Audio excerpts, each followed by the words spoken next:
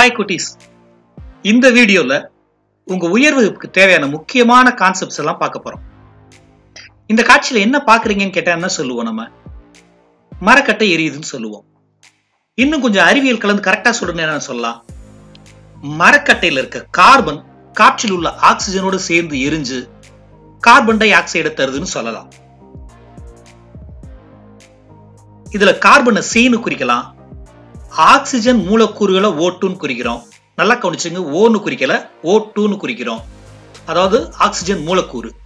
ரெண்டு சேர்ந்து carbon di oxide மூலக்கூறை உருவாக்குது. இந்த மாதிரி குறியீடுகளை பயன்படுத்தி எழுதுறத வேதி சமன்பாடுன்னு சொல்லுவோம். அம்புக்குறிக்கு இடது பக்கமா இருக்கிறத வினை படுபொருள்னு சொல்லலாம். வலதுபுறம் இருக்கிறத வினை விளை பொருள்னு சொல்லலாம். அதாவது வினையில ஈடுபடக்கூடியது வினையில உருவாகக்கூடியதுன்னு பொருள். இதுல மேல் நோக்கிய அம்புக்குறி எதை காட்டுதுன்னா அந்த பொருள் வாயு நிலையில இருக்குங்கிறத காட்டுறதுக்கு நம்ம சமன்பாட்டுல இதை பயன்படுத்தலாம். இந்த சமன்பாடுகள்ல சமன்பாடுகளை சமன் செய்யறதுங்க ரொம்ப முக்கியமான ஒரு செயல். அதை எப்படி பண்ணலாம்னு இப்ப நம்ம பார்க்க போறோம். அதுல முதல் கண்டிஷன் என்னன்னா வினையில ஈடுபடுற ஒவ்வொரு பொருளோட மொத்த நிறைகளை கூட்டினோம்னா வினையில உருவாகக்கூடிய மொத்த பொருள்களின் மொத்த நிறைக்கு சமமா இருக்கணும். இங்க நம்ம பாக்குற உதாரணத்துல பன்னிரெண்டு கிராம் கார்பன் முப்பத்தி ரெண்டு கிராம் ஆக்சிஜனோட சேர்ந்து கார்பன் டை ஆக்சைடு உருவாகும்னா நாற்பத்தி நாலு கிராம் கார்பன் டை ஆக்சைடு தான் உருவாகும். அதாவது வினையில் ஈடுபடக்கூடிய பொருளின் மொத்த நிறையும் வினையில் உருவாகக்கூடிய பொருளின் மொத்த நிறையும் சமமாகத்தான் இருக்கும். இரண்டாவது நிபந்தனை. சமன்பாட்டுல இடதுபுறம் என்னென்ன பொருள் இருக்கோ ஒவ்வொரு பொருளோட அணுக்களின் எண்ணிக்கையும் வலதுபுறம் இருக்கிற அதே பொருளோட அணுக்களின் எண்ணிக்கைக்கு சமமாக இருக்கணும். இங்க நம்ம எடுத்துக்கிட்ட உதாரணத்துல இடதுபுறம் இருக்கக்கூடிய கார்பன் அணுவோட எண்ணிக்கை ஒண்ணு வலதுபுறம் இருக்கக்கூடிய கார்பன் எண்ணிக்கையும் ஒண்ணு இடதுபுறம் இருக்கக்கூடிய ஆக்சிஜன் அணுக்களின் எண்ணிக்கை இரண்டு வலதுபுறம் இருக்கக்கூடிய ஆக்சிஜன் எண்ணிக்கையும் இரண்டு.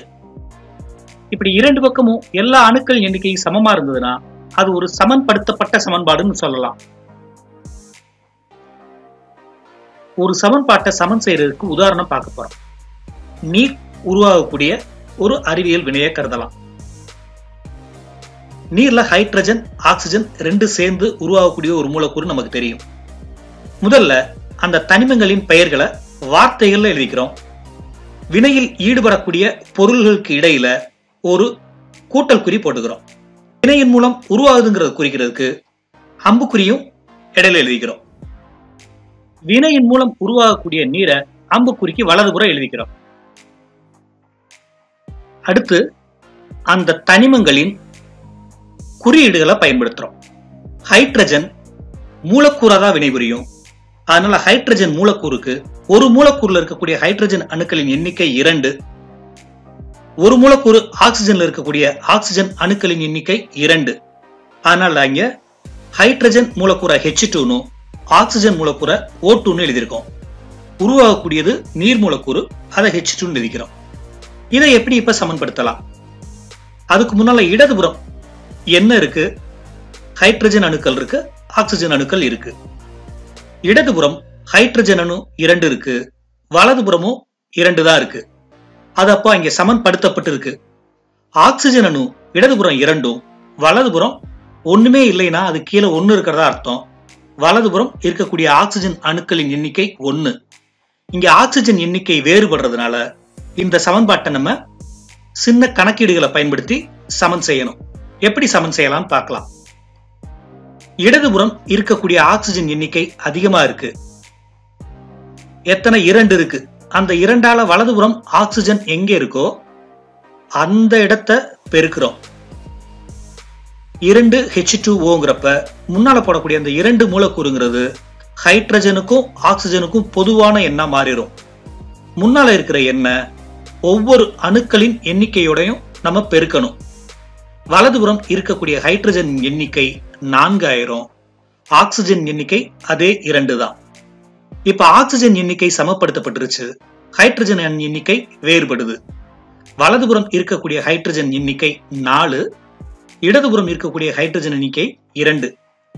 இப்ப நம்ம இடதுபுறம் இருக்கக்கூடிய ஹைட்ரஜனை சமன்படுத்துறதுக்காக அந்த ஹைட்ரஜன் முன்னால இரண்டால பெருக்கிறோம். இப்ப இடதுபுறமும் இருக்கக்கூடிய ஹைட்ரஜன் அணுக்களின் எண்ணிக்கை நான்கா மாறிடும் இப்ப இருக்கக்கூடிய ஒவ்வொரு அணுக்களின் எண்ணிக்கையும் சமன்படுத்தப்பட்டுருச்சு. இது நம்ம ஒரு சமன்படுத்தப்பட்ட சமன்பாடுன்னு சொல்லலாம். ஒரு சமன்படுத்தப்பட்ட சமன்பாட்டில இருந்து என்னென்ன தகவல்கள்லாம் நமக்கு தெரியும்? அந்த சமன்பாட்டை பார்த்தாலே நமக்கு தெரியும். அந்த வினையில ஈடுபடக்கூடிய பொருட்களின் எண்ணிக்கை அடிப்படையிலான விவரங்களை நம்ம அந்த சமன்பாட்டை பார்த்தே சொல்ல முடியும். என்னென்ன பொருள்கள் வினையில ஈடுபட்டு இருக்கு என்னென்ன பொருள்கள் வினையில உருவாயிருக்கு? அதோட எண்ணிக்கை என்ன? மூலக்கூறு வாய்ப்பாடு என்ன? போன்ற எல்லா விவரங்களையுமே நம்ம தெரிஞ்சுக்க முடியும். இந்த சமன்பாட்டை மட்டும் வச்சு நம்மளால எந்த வகையான தகவல்களை பெற முடியாது அப்படிங்கிறத பார்க்கலாம். வினையில் ஈடுபடக்கூடிய பொருட்களின் இயற்பியல் நிலைமை அதாவது திடப்பொருளா திரவ பொருளா வாயு பொருளான்னு அந்த சமன்பாட்டை பார்த்து சொல்ல முடியாது. இந்த சமன்பாட்டு மூலமா அங்கே நிகழக்கூடிய வெப்பநிலை மாற்றத்தை பத்தி சொல்ல முடியாது. அந்த வினை நிகழக்கூடிய சூழலை பத்தி நம்மளால சொல்ல முடியாது. பொருட்கள் என்ன செறிவுல இருக்குங்கிறதையும் சொல்ல முடியாது. வினை எவ்வளவு வேகமா நடைபெறுங்கிறதையும் சொல்ல முடியாது. இது எல்லாமே சமன்பாட்டிலிருந்து பெற முடியாத தகவல்களா நம்ம சொல்லலாம். சில விதிகளுக்கு உட்பட்டு தான் அனைத்து வேதி வினையுமே நடைபெறும். இதை நம்ம வேதி சேர்க்கை விதிகள்னு சொல்லலாம். பொருண்மை அழியா விதி மாறா விகித விதி கேலூசக்கின் பருமன் இணைப்பு விதி பெருக்கல் விகித விதி. இந்த நாளும் தான் முக்கியமான அந்த நான்கு வேதி சேர்க்கை விதிகள். இதுல பொருண்மை அழியா விதினா என்ன? நம்ம முன்னாலே பார்த்ததுதான் ஒரு வேதிவினை நடைபெறும் பொழுது வினையில் ஈடுபடக்கூடிய பொருளின் மொத்த நிறையும் வினையில் உருவாகக்கூடிய பொருளின் மொத்த நிறையும் சமமாகத்தான் இருக்கும். இதைத்தான் நம்ம பொருண்மை அழியா விதின்னு சொல்றோம். ஒரு சின்ன உதாரணம் மூலமா இந்த வினையை இப்ப இந்த விதியை இப்ப நிரூபிக்க போறோம். ஒரு காகிதத்துல மிகச்சரியா ஒரு கிராம் இருக்கிற மாதிரி சிட்ரிக் அமில படிகங்களை எடுத்துக்கிறோம். ஒரு பிளாஸ்டிக் பாட்டில்ல அந்த சிட்ரிக் அமில உள்ள போட்டு பதினேழு மில்லி நீர் இருக்கிற மாதிரி எடுத்துக்கிறோம். அந்த நீரையும் சிட்ரிக் அமிலத்தில் கலந்து நல்லா கரைச்சிக்கிறோம். ஒரு சில துளி புரோமோ மீத்தைல் ப்ளூ அப்படிங்கிற ஒரு வேதிப்பொருளை சேர்த்துட்டு லிட்மஸ் பேப்பரை வச்சு செக் பண்ணா உள்ள எடுத்துக்கிற பொருள் அமிலத்தன்மை இருக்க பொருள் நமக்கு தெரியும்.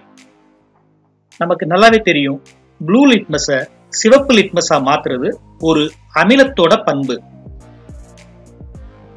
இப்ப மற்றும் ஒரு தாளில் ரெண்டு புள்ளி ஒன்று அஞ்சு கிராம் சோடியம் பைகார்பனேட் தூள் எடுத்துக்கிறோம்.